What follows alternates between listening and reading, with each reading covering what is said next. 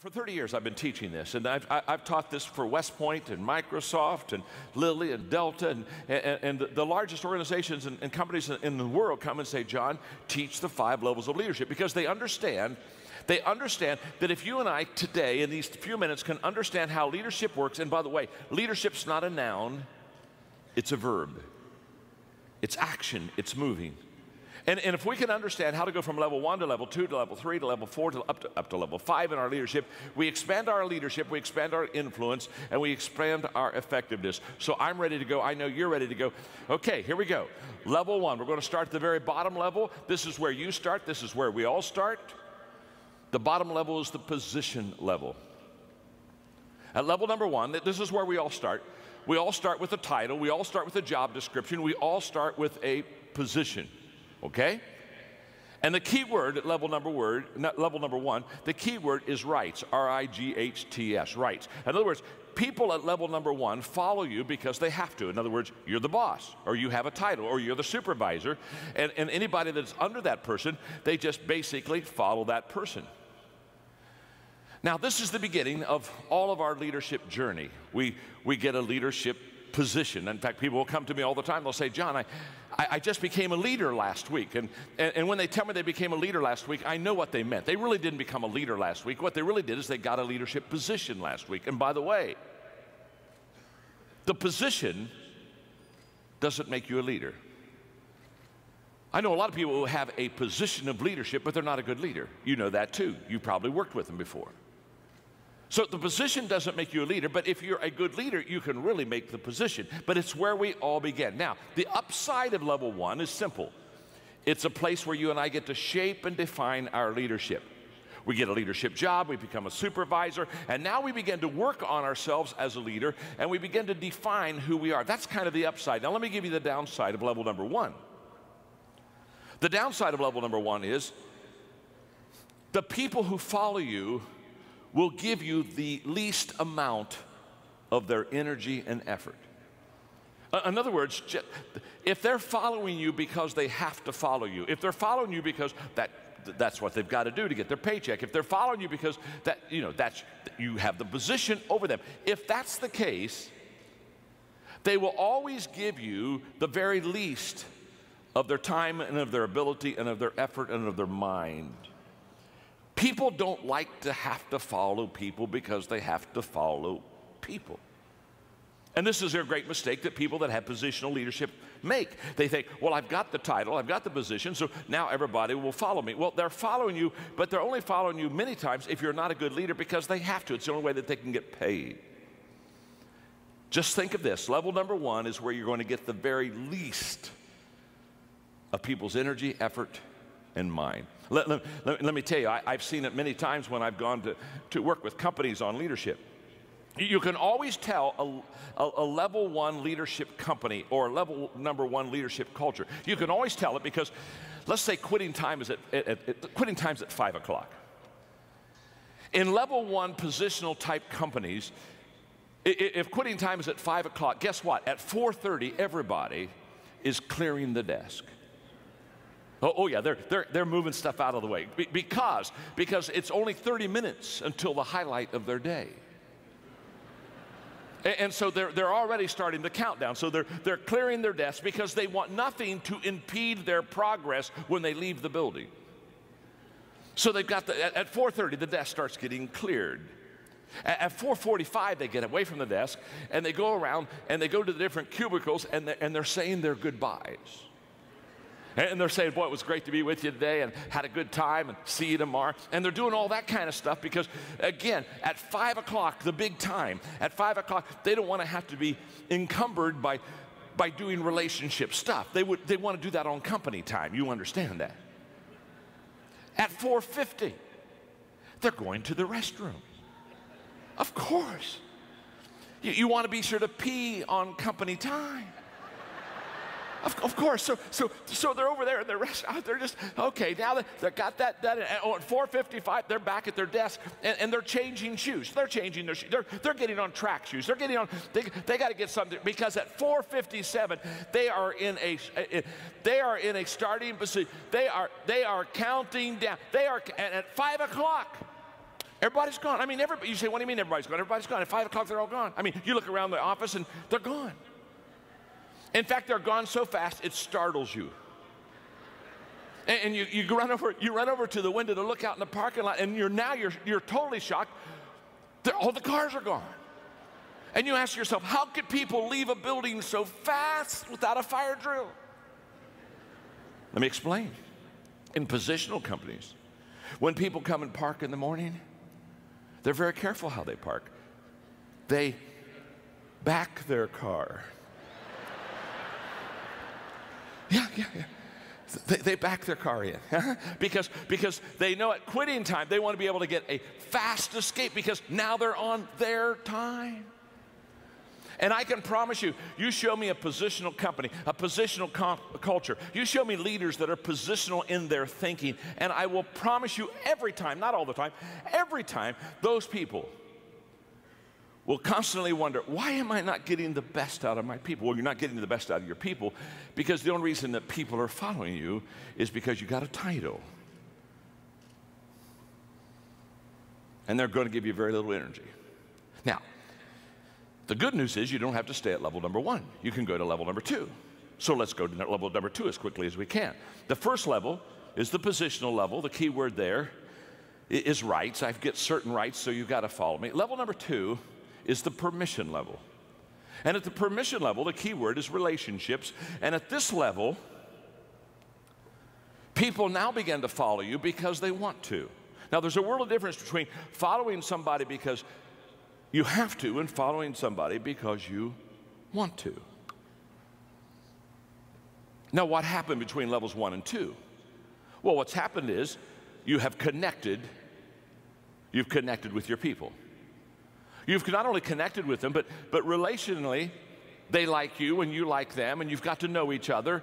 And so now in this work environment, they're not following you just because you are a supervisor. They're, they're following you because you, you do have a position. You are a supervisor, but you are a supervisor that people like. And I'm always amazed. Aren't you amazed? I'm always amazed at people that have leadership positions or responsibilities and they're not they're not likable. Do you know what I mean? They're just not likable. People don't care for them. It's, it's tough being in the people business and not having people like you.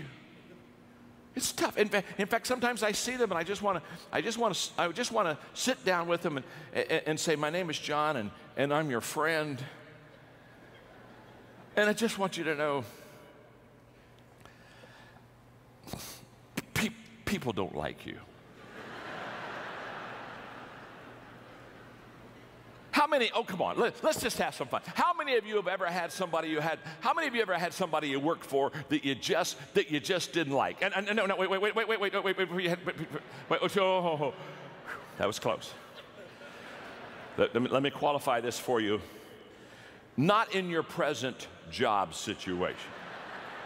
You, you, understand? No, no, no, no, no, no, no. I know that is not happening where you are now. You are happy.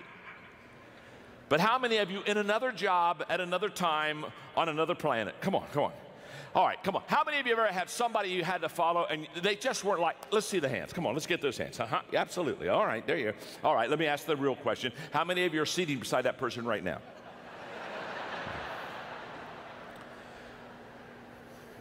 Relationships, relationships with people are the foundation of leadership. You build your leadership off of relationships. Why? Because leadership is influence. And you cannot influence somebody that you antagonize. And every one of us know what it's like to have somebody, every one of us know what it's like to have somebody that, that, that we,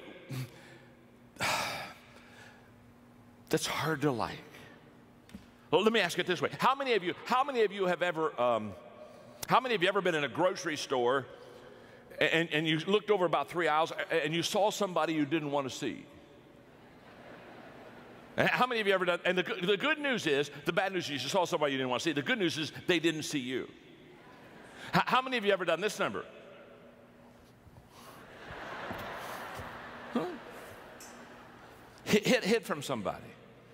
Now, now in this on level number two, what happens is you begin to develop relationship skills. And let me just let me describe the leader on level two. Uh, the leader on level two, they have three things that they do extremely well to be a relational leader. One is they listen well. In fact, they take all of their leadership cues from walking slowly through the crowd and listening. They listen well. Secondly, they observe. They're conscious about where their people are and what their people are doing, and they're constantly observing them. And thirdly, they're learning. They're learning.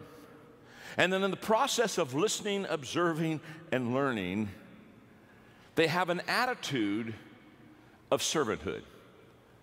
They know how to serve. And they not only know how to serve, but they do serve. And they not only do serve, but they love to serve. One of the things that I love about Chick fil A, I live in Florida now, and so when I went down there, I, I began to talk to Chick fil A people. said, Come on, you got to get a whole bunch of Chick fil A's down in my area because I lived in Atlanta and I need my Chick fil A fix, and they're starting to come down, and it's wonderful. But can I tell you what I love about Chick fil A? They have a, a servant culture. Level number two, they got that wired. They've got this relationship stuff wired. It's my pleasure. How can I serve you? It's, it's, it's a mindset, it's a culture. And, and, and if you're going to grow as a leader, you have to grow beyond your position, beyond your title. Yes, you have a position, that's level one. But the second level is relationships and the ability to get along with people. That's level two. Let's go to level number three. There's another level higher. The third level is the production level. The key word there is results. And at this level, you're starting to help the bottom line of the company. You're, you're, starting to quote, bring home the bacon. You're, at, at, this level, you become effective as a leader. And you become uh, effective as a leader on level number three because you produce. And the characteristics of leaders at level number three are, are, are very common. One is that they, they produce by example. In other words, they are the example for the other people that follow them how to be effective and how to be, how to be productive. You see, the greatest motivational principle in the world, the greatest motivational principle in the world is that people do what people see. And, and, and too, many, too many travel agents, too many travel agents, they're, they're like, um, or too many leaders, too many leaders are like, they're like travel agents. They're sending people where they've never been themselves. And you want to be a tour guide, you want to take people with you. You want to say, This is the area where I've been, this is where, where I live, this is the area where I lead, come along and, and, and follow me. And at level number three, your leadership begins to gain credibility because now you are fleshing out for the people around you and you are modeling for them things that they want to see, and you are starting to produce. Which something else happens because you're becoming productive in your own life, you begin to attract people that begin to be productive also. In the 21 Irrefutable Laws of Leadership that I wrote, one of the laws is the law of magnetism, and the law of magnetism just says we attract who we are, not who we want. So when I talk to leaders, often when we talk about recruiting, then I'll say, well, what kind of people do you want in your company? What kind of people do you want in your department uh, as a supervisor? And they'll give me a list. They'll, they'll, they'll write things, you know, I want, I want somebody that's, um, I want somebody that's self-disciplined, and I want somebody that is service-oriented, and, and, they'll give me a, a, you know, a list of four or five qualities. And as soon as they give me the list, I look, I look at those qualities and, and then I ask them a very simple question. I, I say, okay, uh, do you possess those qualities? Because, see, on level number three, basically who you are as a leader is who you attract on your team. And at level number two, or level number three, what is wonderful is that, that at level number three, when you start to produce, when you start to really develop, when when you really start to grow things, you begin to get momentum. And momentum is a leader's best friend because momentum is the great exaggerator. And once you have momentum, all of a sudden things begin to look in such a better way and, and, and it becomes easier to grow and it becomes easier to lead. It's a wonderful thing. In fact, level number three is where a lot of the problem solving is taken care of. You see, managers, they try to solve problems where leaders try to create momentum because leaders know that if they create momentum, they'll solve 80% of their problems with momentum. You see, momentum is a problem solver. Lack of momentum is a problem stopper every time. A train going 55 miles an hour on a track if you had a five foot thick concrete steel reinforced wall on the track in front of that train, because that train is going and has momentum going 55 miles an hour, that train would smash through that wall and would just keep on going. Why? Because it has momentum. Momentum allowed it to get through a five foot thick concrete steel reinforced problem. That's what momentum does. That same train, not moving at all, stopped dead on the track. No momentum. If you put a one inch block in front of the driving wheels of that train, just a one inch block. That train can't even get started. Now, isn't it interesting? Same train that, that smashed through a five foot thick concrete steel reinforced wall because it had momentum, that same train without momentum can't even get going with a one inch block, can't even get going. It has no momentum. In fact, that's why, that's why I tell people many times that when they look at the problems they have in their organization, your, your problem is not your problem. The, the problem is they think the problem is the problem, and, and so therefore they, they concentrate on a problem that's not a problem. And now that the problem it isn't a problem has become a problem, not because it was a problem, but the problem was they didn't know it wasn't a problem, and so now they're concentrating on a problem that wasn't a problem, and now they've got a problem not because they had a problem, but the problem has become a problem because they didn't know that it wasn't a problem, and so they got a problem. And momentum and level three leadership will take care of 80% of all the problems in an organization. It happens for sports, it happens for business, it happens in government. Momentum is a leader's best friend. It happens at level number three. You got to get to level number three to get that mo going. Okay, let's go to level number four. Let me go. Let me ask you a question before we go to level number four. Are, are, are you learning something? Are you learning something? Uh, okay, okay. Look at your neighbor and say, "I'm learning something." Go ahead and tell them that. Go ahead and tell them that. I'm learning something.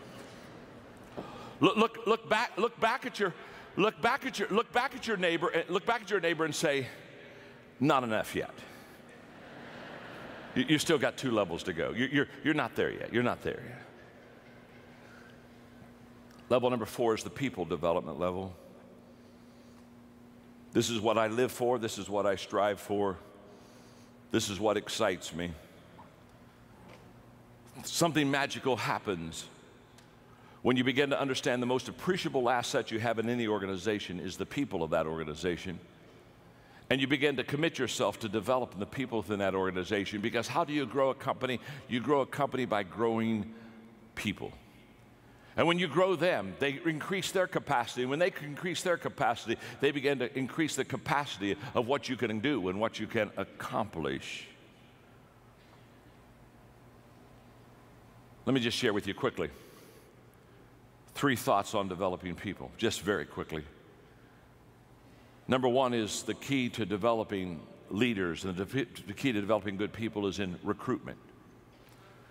Uh, the better person you bring in the door, the higher odds that you can do well with them.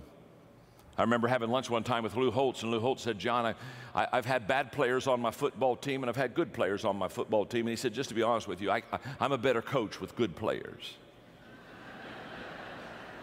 of course he is.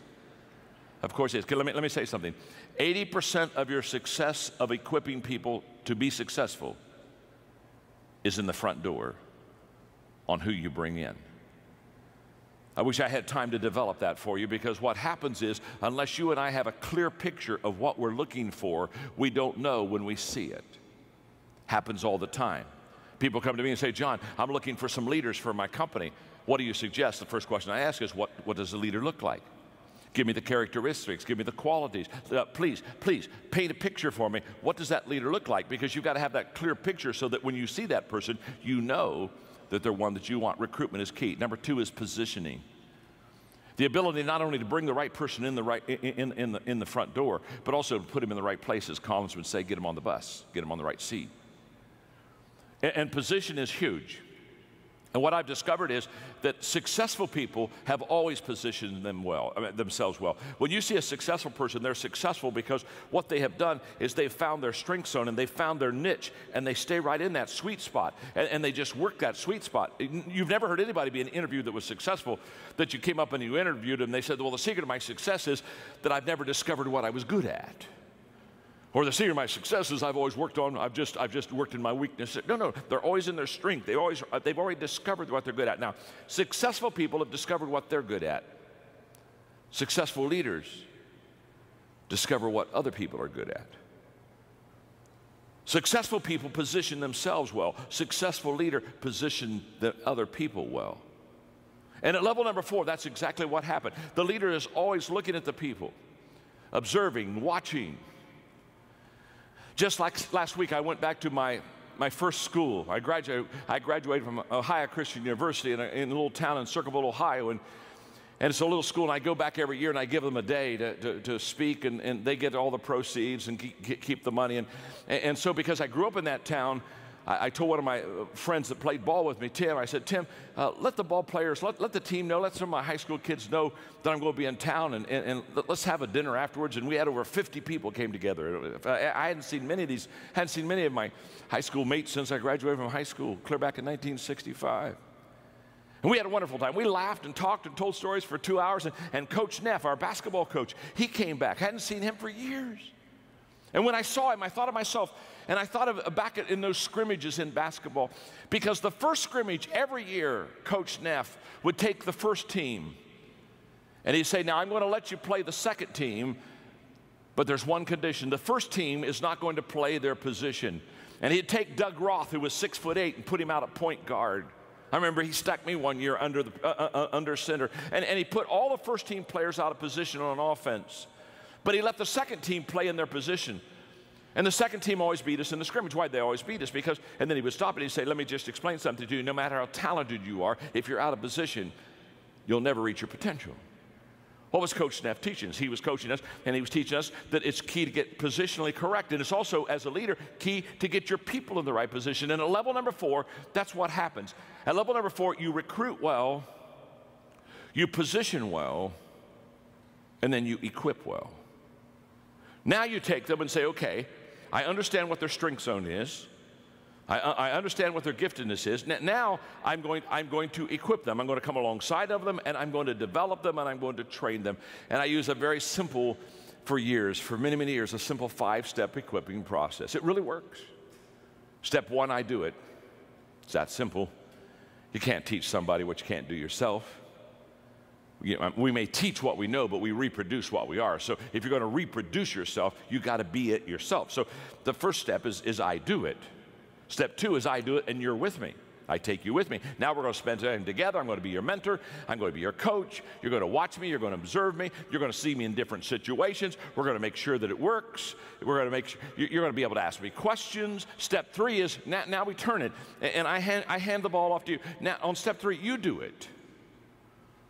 You do it and I'm with you. Now I'm watching you and I'm, I'm tweaking you, and, I'm, I'm, I'm getting, I'm, I'm, I'm helping you to get better, and I'm I'm, I'm, I'm just really fine tuning you. Step four is you do it. You just do it. You don't need me anymore. You know how to do it, and you do it, and you do it well. And many times people think that equipping stops at, at, at, step four, but it doesn't. There's one more step that's absolutely essential. Step five is, is, is you do it and somebody's with you. You've never really trained and equipped somebody until they can multiply themselves. That's where all compounding is. That's where all compounding of time, money, influence, the whole process. Compounding begins when you can train somebody who has trained somebody. I know that well because 14 years ago, I started a nonprofit organization called Equip that is now the largest leadership organization in the world. And we've trained and equipped over 3 million people in 154 countries. And the key to that is we don't train anybody unless they make a commitment to train somebody else. It has to continue to go on. That's level number four. It's a beautiful level to be on. It's the level where you develop people. Now, there's one more level. That's level number five the pinnacle level. The pinnacle level, the key word there is respect. You've done it so well with so many for so long that people just absolutely follow you. They follow you because of who you are, the qualities you have in your life. They follow you because of what you have done. And there's a great amount of respect and it takes a long time to get to level number five. Most of us aren't there. All of us would probably like to be there, but it's a lifeline journey. And what I want you to understand about the five levels is that's exactly what leadership is. Leadership is an always ongoing, always learning, growing process. Okay, let me ask you a question. You've got the five levels there, and you can see them, and you can see how each one kind of leads into the next one. And probably the question you've asked yourself now by this time, because you're a sharp crowd, you've asked yourself, wonder what level I'm on. Am I on level one, or am I on level three? Am I on level four? You've already done that. I know you have. That's what I would be doing if I'd be sitting there. I'd be saying, okay, where, where are you, Maxwell? And if you ask that question and you kind of go deep in that question, you're going to get a little frustrated because you know what you're going to discover? You're going to discover you're, that you're not on the same level with everybody. That with somebody, you're maybe on level two. With somebody else, you may be on level four. Isn't that true? If somebody new came in the company, you're on level one with them. And what you're going to discover is that you're on different levels with different people. Now, I wish I had an hour to teach this whole process, but here's what I want you to understand. Here's your assignment, very simple. Take the people that you lead, put their names down, and ask yourself a simple question What level am I on with that person? Do your best to kind of put a number there. And, and I know it can kind of bleed together, so it's not quite an exact science, but, but do your best shot. Because after you know what level you're on with each one of your people, then you're going to know specifically how to lead them. Now, here's the key. Whenever you try to cast vision with people in your organization, in your department, they don't see you based upon who you are as a person or as a leader. They see you through the five levels grid. And a person on level one, when you talk about a vision, a person on level one sees you entirely different than a person on level number four. The commitment level is much higher the higher you go with your people. So, therefore, when you cast a vision or when you lay it out for your people and say, This is where we want to go, just understand it may be the same company, it may be in the same building, it may be the same time, it may be the same speech, but the reactions are going to be different. And the reactions are going to be different because they're on different levels with you. So take the notes, study them, apply them to your life, begin to be a student of the five levels of leadership. And I wish you well because leadership is influence, always has been, always will be. And within you, you have the power to increase that influence. God bless. Thank you very much. Have a great day.